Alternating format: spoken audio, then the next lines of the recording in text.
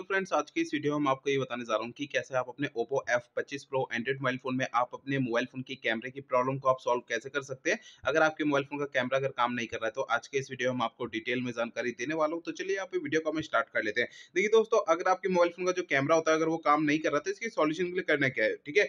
देखिए, इसके लिए आपको सबसे पहले तो मोबाइल फ़ोन की कैमरे की जो सेटिंग होती है, उसे आपको रीसेट करना है। कैसे करेंगे? देखिए, आप सबसे पहले कैमरे को ओपन कीजिए। कैमरे ओपन करेंगे तो इसमें आपको सबसे ऊपर सेटिंग का आइकन दिखाई देता है। सेटिंग का ये आइकन टैप करना है तो आपका ना ये एक पेज आएगा कैमरा सेटिंग का, ठीक है? इसमें आपको नीचे की साइड ना सबसे नीचे ये ऑप्शन मिलता है रीस्टोर डिफ़ॉल्ट, इसे आपको टैप करना है। तो यहाँ पर आपका एक ये पेज आता है, इसमें आपको रीस्टोर डिफ़ॉल्ट का ये ऑप्शन दोबारा टैप करना है, ठीक है?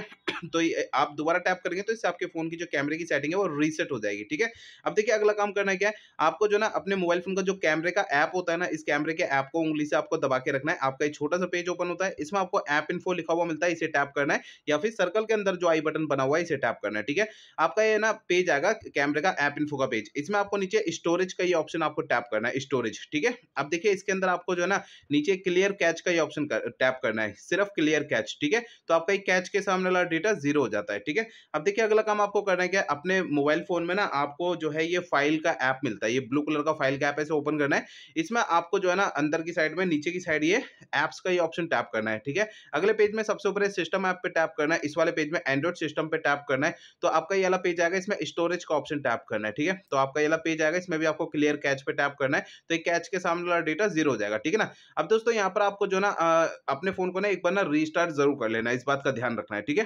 अब देखिए, अगला काम ये करना है मोबाइल फ़ोन को ना रीसेट करना है। देखिए दोस्तों मोबाइल फ़ोन को रीसेट आपको तब करना है, जब मेरे बताए हुए पिछले प्रोसेस काम नहीं करते ना, तब आपको फ़ोन को रीसेट करना है अदरवाइज़ नहीं करना है। फ़ोन को रीसेट करने के लिए फ़ोन का आप सेटिंग का पेज ओपन करिए। सेटिंग के इस पेज में सबसे ऊपर सर्च बार पे टैप करना है, यहाँ पे सबसे ऊपर सर्च बार में रीसेट आपको लिखना है, ठीक है? रीसेट आप लिखेंगे तो नीचे की साइड आपको एक ऑप्शन मिलता है erase all data factory reset का।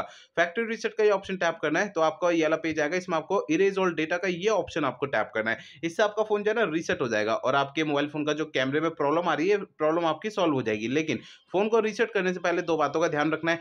पहली बात ये ध्यान रखना है, आपके फ़ोन में जितना भी डेटा है, सारा डेटा आप किसी भी दूसरे फ़ोन में ट्रांसफ़र कर लीजिए या आप अपने फ़ोन के डेटा का बैकअप ले लीजिए। दूसरी बात ये ध्यान रखना है, आपके फ़ोन की जीमेल आईडी और उसका पासवर्ड आपको पहले से नोट करके रखना है। ये दो काम आपको पहले करना है, उसके बाद फ़ोन को रीसेट करना है, ठीक है? तो मेरे बताए हुए सारे प्रोसेस आपको यूज़ करना है, इससे आपके मोबाइल फ़ोन का जो कैमरा काम नहीं कर रहा है, ये प्रॉब्लम आपकी सॉल्व हो जाएगी, ठीक है ना?